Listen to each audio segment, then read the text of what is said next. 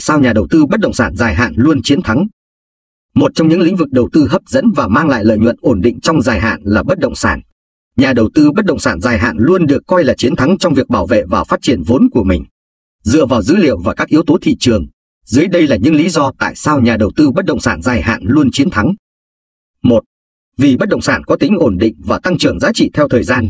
Bất động sản là một lĩnh vực đầu tư mang tính ổn định cao và có khả năng tăng trưởng vốn dài hạn.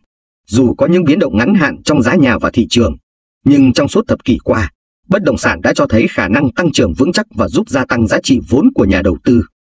2. Có thể dùng bất động sản để làm đòn bẩy tài chính. Một ưu điểm của đầu tư bất động sản là khả năng sử dụng đòn bẩy tài chính. Nhà đầu tư có thể sử dụng vốn tự có chỉ một phần nhỏ để mua bất động sản và còn có thể vay vốn từ ngân hàng hoặc các nguồn tài trợ khác để thực hiện giao dịch. Điều này cho phép nhà đầu tư tận dụng lợi suất thấp của khoản vay và tăng lợi nhuận thông qua tăng giá trị tài sản. 3. Bất động sản mang lại lợi nhuận từ thu nhập cho thuê.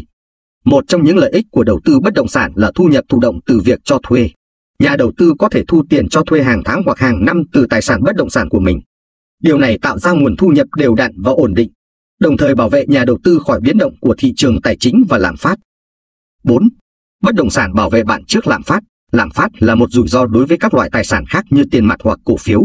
Tuy nhiên, bất động sản vẫn giữ được giá trị và giá trị sẽ càng tăng cao nếu có lạm phát. Bạn có đóng góp gì cho kênh hãy để lại ý kiến dưới comment để cùng thảo luận nhé.